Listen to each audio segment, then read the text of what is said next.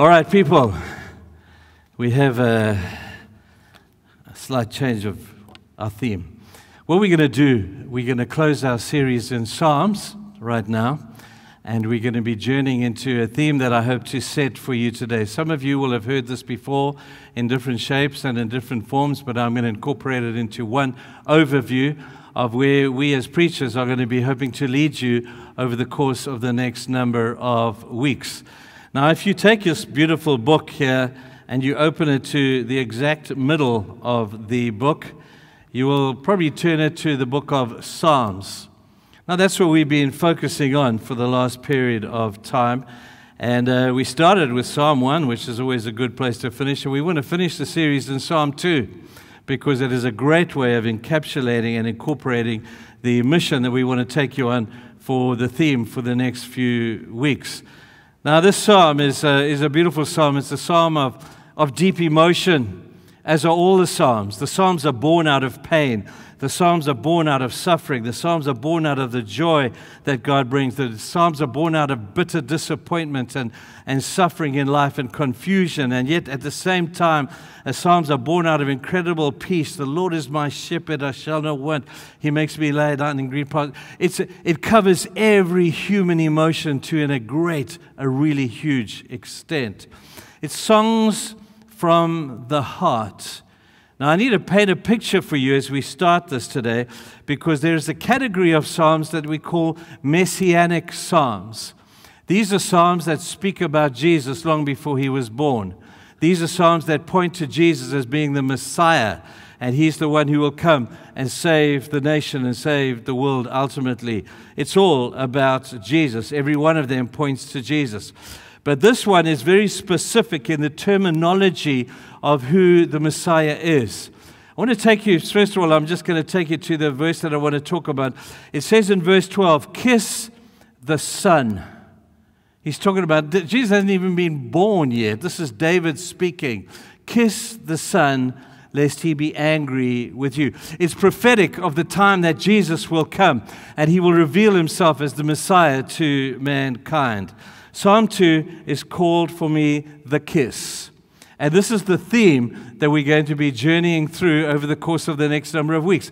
I had an interesting week, and uh, I know I spoke about this stuff some time back years ago, but uh, you know how you always end up where you begin. And, and I came back to this beautiful theme. And as I studied this theme yesterday, I was encouraged to think that there are many applications of the kiss as we see in Scripture. And funnily enough, each one of them speaks into a different phase or a different situation in our Christian experience. And I want to take you through nine of them very quickly today to set the scene of what we're going to be doing. The kiss is what this is all about. And I was amazed to see how many times it's mentioned in Scripture, and every time it's mentioned, it's part of our spiritual journey. So, for the next period of time, we're going to be talking about the kiss, and I hope that it'll be beneficial to you, man. The kiss.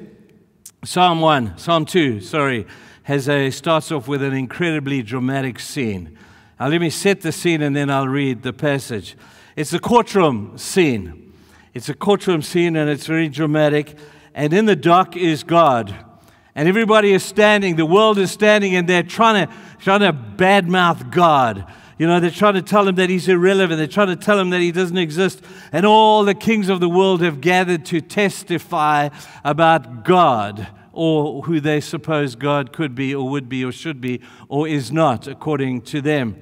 And so we have all these people who conspire against God. It says the nations rise and the people plot in vain. It's a very dramatic scene. The kings of the earth have taken their stand, and the rulers gather together against the Lord and his anointed. Who's the anointed? Is Jesus. And then this picture goes on. All the witnesses are called. And if we were to do this courtroom drama today, we'd have Mao Zedong in the corner and he would say, God is dead he would leave the dock. And then Voltaire would come up and say, Not only is dead, but he never was. And then Karl Marx would stand up and say, Hey, God is not God, we are God. And then you would have someone like all the cynics and the skeptics and the academics. And at best, all they could conclude is if God does exist, he is irrelevant to us today. And then they would stand back after mouthing their mouths off and they would say, We rest our case, let's take a vote. And the world in the main would vote to say, We go with you guys. We go with you guys. And they, for some stupid reason, think that they have won and that their intellectual capacity will determine God's existence or God's non existence. And then suddenly the scene changes. I'll read it in a moment. Without a word, silence falls across the courtroom. The eyes of the people widen, their mouths drop open, the walls begin to shake, and the mountains outside begin to crumble and the kings fall off their throne, and the lightning flashes, and the darkness descends, and they cover their ears because there is a sound that is terrifying to them. And you know what the sound is?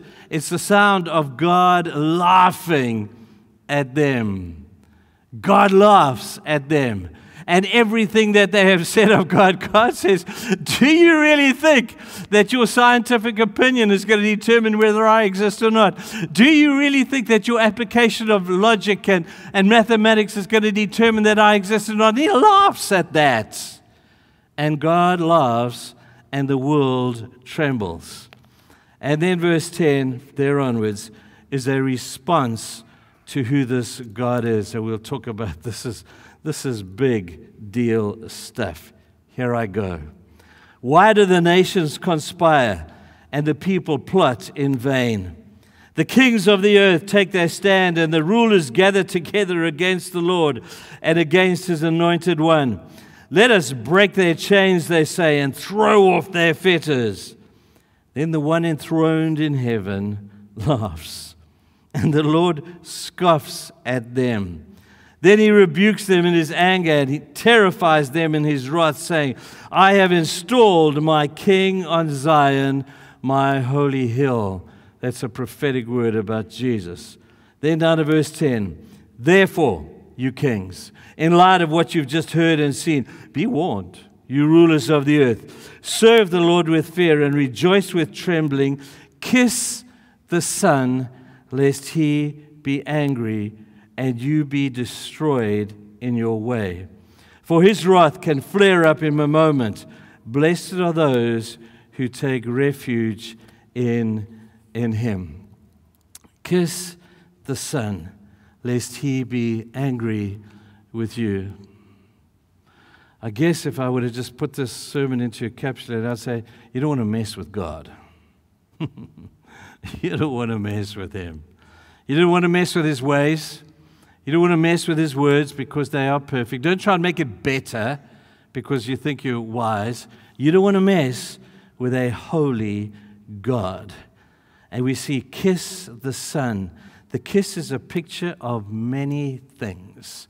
Let me take you through a few of them. First of all, let's talk about the magic of a kiss. You know, if you watch some music movies and you watch Snow White, and mwah, kisses her, and She's to make life again. You know, you get the, the kiss of, of Beauty and the Beast, and this ugly monster becomes, and she kisses the beast. Oh, don't kiss the beast, he's so ugly. But she kisses the beast, and mwah, all of a sudden he becomes a handsome prince. Have you seen the movies about kissing a frog? If you girls are looking for a husband, you know what to do. You know what to do, hey? You find the biggest, ugliest, grossest, and you kiss that sucker. And, and you will find for yourself a hand. Ask Helene, that's what she did. And, and you see the result of kissing the frog. The, the kiss, the magic of a kiss. But today's sermon, there are nine other kisses that I want to take you through in anticipation of this journey of kisses that we're going to go through. First of all, I want to talk to you about, we've spoken about the kiss. Okay, here we go. I'm going back to my noughts and crosses sign because there are nine very quick aspects that set the scene for where we are going. The first kiss that I want to talk about is the kiss of life. You know, in the Garden of Eden, God made man out of the dust of the world, and he, he eventually clothed them and he put stuff on them and, uh, and he kissed life into these people. At once they were just dust. And God, out of the dust of the ground, he, he shaped a man. And then it says, and then he breathed his life. And it's like the kiss of life. That's where it begins, the kiss of life. It ends with the kiss of death. That's what we talk about in the course of our lives. And so, between the kiss of life and the kiss of death, and death is not an ugly thing, it's like God kissing you into eternity. It's an act of deep affection as God takes you from this world into the life that is to come. But between the kiss of life from the Garden of Eden to the kiss of death, there's a whole bunch of other kisses that we're going to have a look at. In uh, chapter 2, verse 7, God kissed and we breathed life into the dust and verse 7 apparently says what it does it says, And man became a living being. Man stood up and he became a living being. Sadly, in the Garden of Eden, it didn't go well. And man rebelled against God and decided he wanted independence from God. And so there was a distance created between God and man. It was a thing called sin that came between God and man. And now they were in two separate worlds almost. And so God initiated the kiss of reconciliation that took place at the cross. Notice who's initiating the kiss. The second kiss is this kiss of, of kiss and makeup. You know, when you, you fight with somebody or you argue with somebody or your wife or your kid or something, and then you, you, as it were, you kiss and make up, and everything that has been hurtful has been left behind because of the emotion of the wonder of reconciliation that happens at the point of humility and the point of reconciliation is a kiss of this beautiful thing we call reconciliation. Genesis chapter 33 has a whole bunch of them. First of all, we have Genesis 33 with Jacob and Esau. Jacob had ripped off Esau and lived with a guilty conscience for many, many years until he said, I need to make up with my brother. And you read in verse 30, chapter 33, how Jacob found his brother.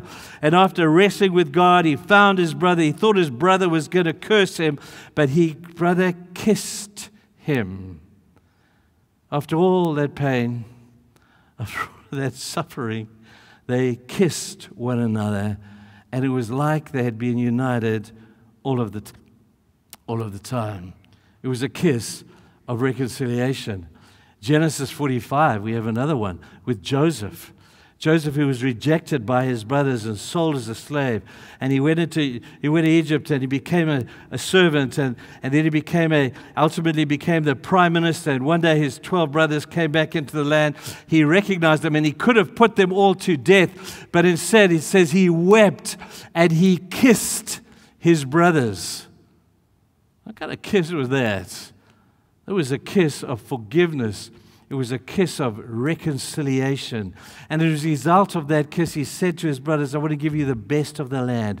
Choose where you want to live.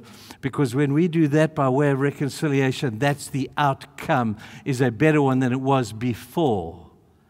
And so the kiss of reconciliation. And then for me, the most beautiful all is the prodigal returning home. And his father, who has been waiting for him, sees his son coming down the road. And he's so overjoyed, he runs and he embraces his son. And the son is not expecting this. The son is expecting his father's going to hit him or beat him or, or, or do something to him. But the, the father is so overwhelmed, he embraces the son and he kisses him. And the son is looking, saying, What is that all about? And the father says, I'm so glad you're home. Kill the fatted calf, put a beautiful robe on him, put a ring on his finger. And that kiss is the kiss of reconciliation. Isn't it beautiful that here we are, 2022, we look back to 2000 something years ago, and we remember the kiss of reconciliation that took place at the cross. Psalm 85 puts it like this, verse 10 Love and kindness meets together righteousness and peace have kissed one another. That's the cross. Righteousness, of which we have none, and peace, of which we have even less, have kissed one another at the cross. Who initiated that? Did we? Not at all. Did God? Totally. Totally. God said, let's be reconciled, and this is where it happens. The third kiss what I talk about is the kiss of separation. Thanks, Heath, for your help with my, my drawings here. Okay, that is a fire. Okay, this is wood. You can bring your marshmallows. We, you can, it's the kiss of saying goodbye. Let me, it's a kiss of separation. 1 Kings 19 his, speaks of this kind of kiss. Elisha has been called by Elijah to be his succession plan. And Elisha says, Yep, I'll do it. But he says, I have to do something first. I have to kiss my parents goodbye. If I'm going to follow you, Elijah, and I'm going to do everything that you need me to do, and if I'm going to be a servant that is totally at your whim and your fancy and your command, I need to kiss my parents behind. I need to kiss my past behind. I need to kiss that plow behind that I was plowing in the land. I need to kiss my cows behind. But, uh, uh, uh, leave them behind me. I have to leave the past behind. I'm going to tell people, I can't wait to preach this one. Because when we kiss the past behind, it refrees us up for a future that God is able to use us. Kind of like the children of Israel when they left the, Egypt and they went across the Red Sea into the wilderness. They just couldn't kiss Egypt goodbye. They were always as a stiff necked people looking back to Egypt, saying, Man, we had food there, we had meat there, we had at least we had at least we had stuff there. Moses in the wilderness, we've got nothing. Nothing but God. And God is everything. And they kept looking behind them. They just couldn't burn those bridges. No turning back. I love that song. We need to sing it. No turning back. No turning back. The cross before me, the world behind me, and this is the direction that I have burnt with the past. Sometimes think that the past has too much control over us and the children of Israel would be a great example of that. So we need to burn up the past. We need to get rid of those things as Elisha did. He burnt his, his, his potential to make income, he burnt his, his inheritance, he burnt everything. And he says, Now I'm ready to follow you, Elijah. You've got to travel really light as a Christian. The lighter you travel, the better the journey is going to be we're going to talk a little bit about that. And then we have this, uh, this kiss here. And the only way I could depict it is the kiss, kiss of the feigned affection. You know, we often see the heart as being the source of affection. But then we, when, we are, when we have the kiss of feigned affection, we, we think about we, we'll, we'll be kind to you and we'll give you a half hearted kiss because we want something from you. Now, if you look again at the story of Jacob and Esau, Genesis chapter 20, and it's, a, it's an incredible story about Jacob stole Esau's birthright. And then Esau was out hunting, and Jacob went to, to, to his father Isaac under the help of his mother. And he, the one was a hairy guy. Esau was a hairy guy. And Jacob is a very smooth skinned guy. And so his mom says, Don't worry about the hairy stuff and the smell stuff. We're going to put some skin on you so that when you go to see your dad, your dad, who is almost totally blind, is going to want to feel you. He's going to want to smell you. So when you come and ask him for the inheritance of Esau, go and read the story. Go and read the story. Uh, then he will think that he's, you're conning him. It's the kiss of feigned affection. And we read in Genesis chapter 27, verse 26, where Esau says, My son, come, let me kiss you. And Jacob smiles because he's conned his dad. And that kiss he gave his father was the kiss of feigned affection. Now, you know, you say, well, how does that relate to me?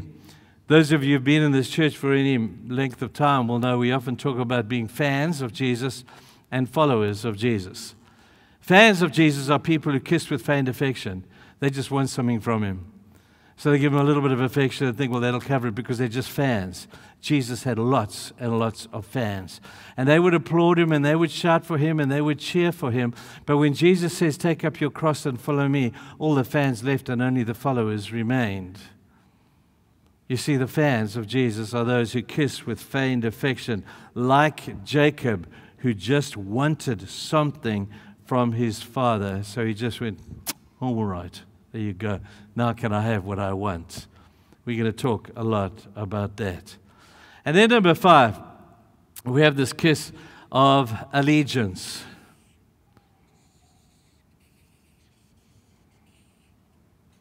This is the kiss of allegiance, where the cross has moved from there to you where you pledge allegiance to the cross of Christ.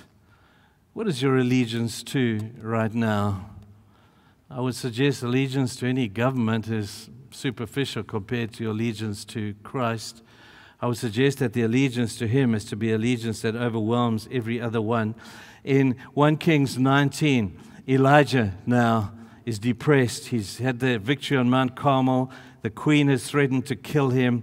He runs into the wilderness and he sleeps. He wakes up and, and God says to him, Elijah, what are you doing here? And he says, Oh Lord, you don't seem to understand. I'm the only one left. I'm the only one who has not bowed the knee to Baal. I'm the only one who continues to follow you. There's nobody else out there. And God must have smiled and said, Oh, Elijah, that's not true. And he says in verse 18, God says, There are yet 7,000 in Israel whose knees have not bound to, bowed down to Baal, and all whose mouths have not kissed him.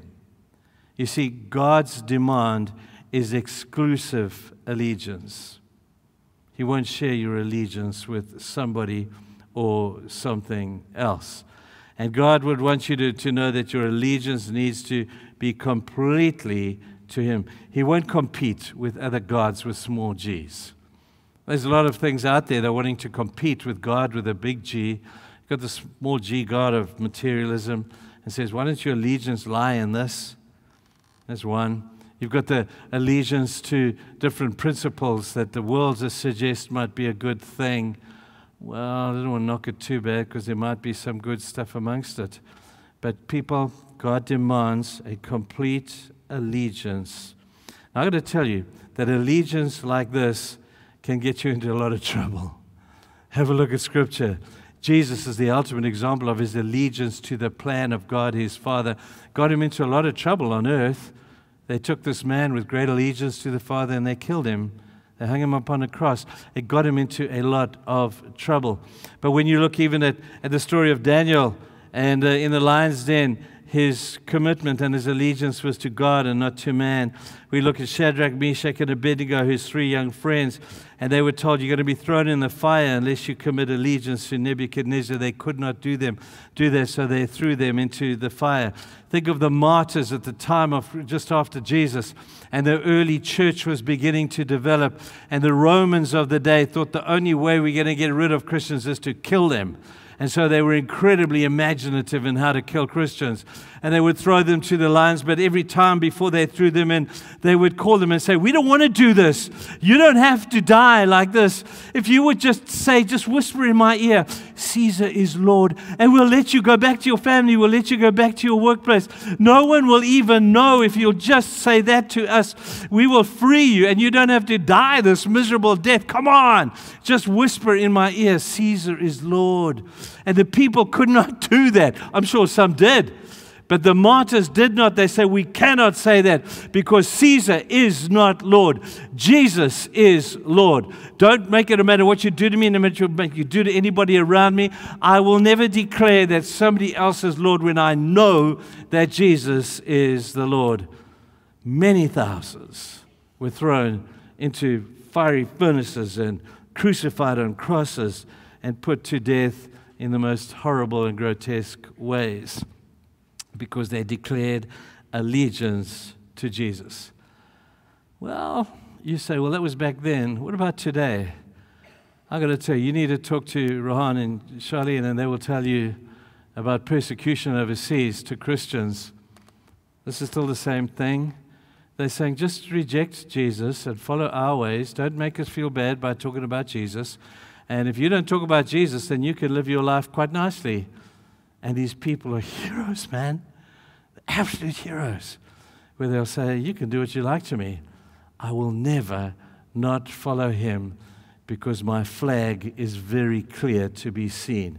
My allegiance is to Christ. We're going to talk about that as well. Let's move on to the kiss of betrayal. The kiss of betrayal, you'll know where I'm going on this one. Luke chapter 22, we have uh, Judas, and he has gone out there and for 30 pieces of silver, he betrays Jesus with a kiss. Just 30 pieces of silver. Yeah, man, it doesn't make any sense. He's been with Jesus for close on three years. He witnessed Jesus raising people from the dead. He's witnessed as Jesus has healed the blind and the deaf and made the lame walk. He has watched with his own eyes those things.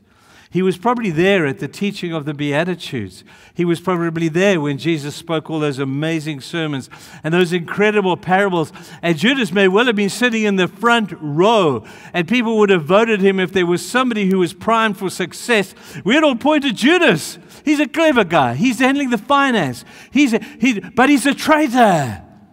And he betrays Jesus in the Garden of Gethsemane that night after the Lord's Supper. And he has his final supper with his disciples. He goes across the Kidron Valley up to the, to the side of the hill of Gethsemane. And, uh, and he goes off and he prays, and his disciples fall asleep. He comes back three times. Then all of a sudden, there's a huge noise and lights coming up the hill as Jesus, as Jesus is praying. And then he wakes his disciples up and he says, Guys, it's, it's time. And they say, It's time for what? He says it's time for the Son of Man to be betrayed through a kiss. And Judas steps out of the ranks and he kisses Jesus. That was a plan 30 pieces of silver. Well, it's quite a lot of money in those days. But the trade off, as he realized thereafter, was of no use to him at all. At the end of it, guilt was so written in his body that in his mind that he takes the 30 pieces of silver back to the people he got it from at the temple. He throws it down on the floor and he says, I want a clear conscience. I cannot. I have betrayed the blood of an innocent man. And they said, Well, you, we're not going to use that money because it was used for what you use, we're planning to use it for. And Judas went out guilt ridden and he took his own life. Man. If that guy had only realized he could have come to Jesus and asked for forgiveness, and there's nothing that Jesus can't forgive. Even Judas, in the act of betrayal, Jesus could have forgiven him, but he just didn't do it because he says, I'm just too far gone. Jesus will never be able to forgive me. Oh man, how sad. If you're thinking that today, you need to understand no matter what you've done, where you've been. You know, it, Jesus is able to forgive anything if we come in repentance to Him. The last three I saved down here for the aspect of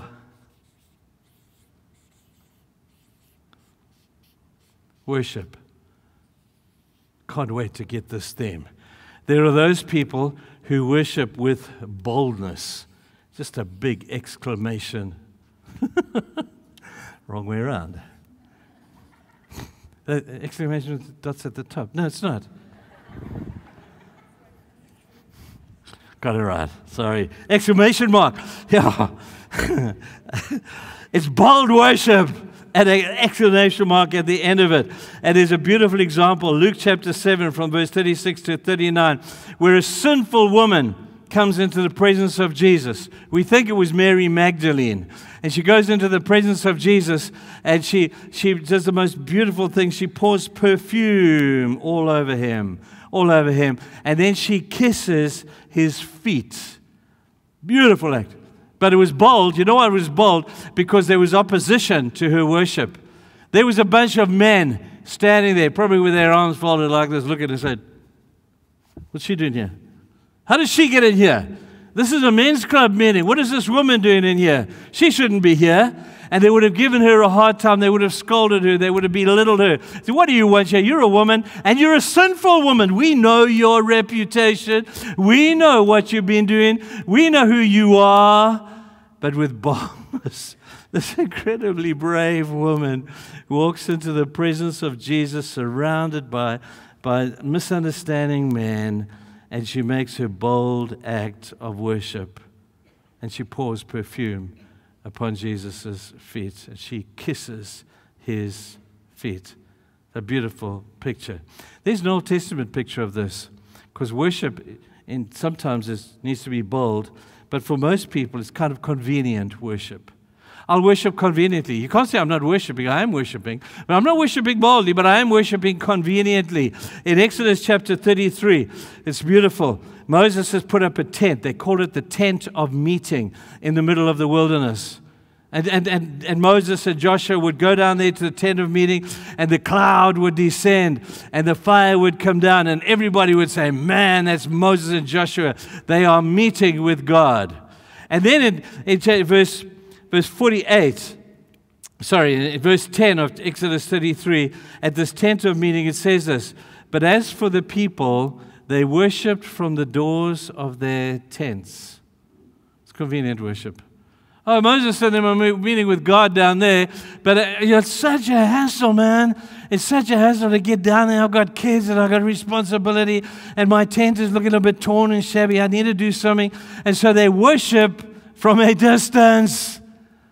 That's not what bold worship is all about. Boldness of worship is not always convenient worship. And these people said, We'll worship God, but we'll worship Him on our terms.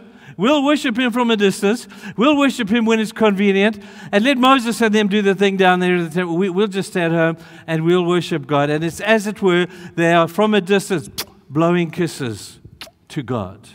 Instead of getting there intimate with Mo, like Moses and Joshua, they're blowing, Hey, Moses, tell God we love him. Hey, Moses, tell God we like him. Hey, Moses, tell God thanks. Hey, Moses, tell God we think he's great. They'd blow kisses from a distance. That's not bold worship, people. Bold worship. I can't wait to get this one. This is going to be such a cool theme to talk about. Bold worship is bold worship. And we're going to talk a little bit about that. Number eight, so the subject of worship. Unfortunately, I've got to leave this one blank because there are some who don't worship at all. It, it's not that they're not doing other stuff. If you ever look at that same passage, in Luke. Let me just read it to you so you get it. If you look at Luke, Luke, uh, this woman has come into the scene and she, she's kissed Jesus' feet, she's wiped his feet with her hair, and she's poured perfume on them. Okay, the host of the home, his name is Simon, he comes and says, Hey, Jesus, what's she doing in my house? And Jesus says she is worshiping. And he says, But, but why should she be here? And this is what Jesus said. He told him this Two men owed money to a certain moneylender. One owed him 500 denarii and the other 50. Neither of them had the money to pay their debt back, so he canceled the debts of both. Now, which of these will love him more? And Simon replied, mm, I suppose the one who had the bigger debt cancelled. And Jesus says, You have judged correctly. Then he turned to the woman and said to Simon, Do you see this woman? I came into your house, and you did not give me any water for my feet, but she has wet my feet with her tears and wiped them with her hair. You did not give me a kiss, Simon, but this woman from the time I entered has not stopped kissing my feet. You did not put oil on my head, but she's poured perfume on my feet. Therefore, I tell you that her many sins have been forgiven, for she loved much, but he who has been given little loves little. Then Jesus said to her, Your sins are forgiven. This is kind of a picture of the guy who's so close and yet so far because he could have said to Jesus, Hey, Jesus, have you not noticed what I have done for you? I've opened my home to you, Jesus. We've cooked a great feast for you and your disciples. And Jesus, I don't know if you've noticed, but there are people out there who are criticizing me for hanging out with you. Jesus, and, and now you judge me on this one thing, just this one thing that I have not kissed your feet. And Jesus says exactly that. You can, people, get a whole bunch of other things right, but if you miss this, the other things mean nothing. And so don't miss this. In fact, I've got to give a, I have to draw something. So I'm just going to put a little question mark down here. What is that one thing? What is that one thing that you need to do to show Jesus that He is number one? What is that one thing that you need to do to be that kiss on Jesus' feet? What is that one thing? And if you do that one thing, let me tell you, a whole bunch of those other things don't count at all. They don't count at all because you've given Jesus what he wants. He wants that kiss of deep worship and deep, intimate affection with you. And we're going to talk a lot about what that looks like.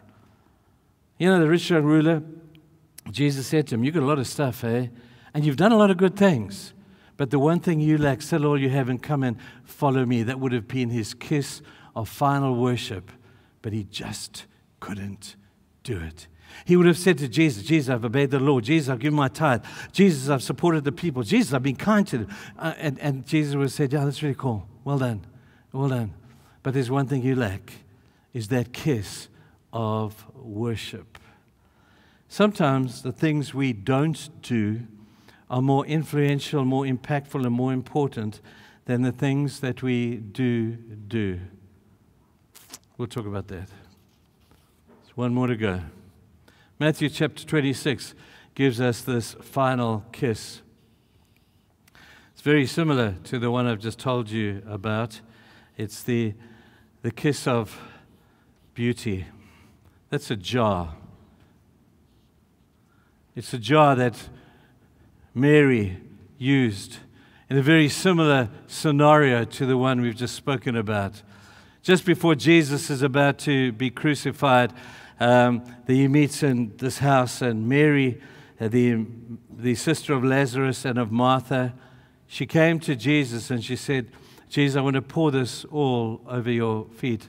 And she did that. Again, the disciples mocked her. Judas, the one who was over here, he was the one who's talking about money all the time. And he said, Hey, Jesus, we, we, could have, we could have used that money. What a waste, Jesus, that she would not be sell that so that we could, we could use that money to feed the poor.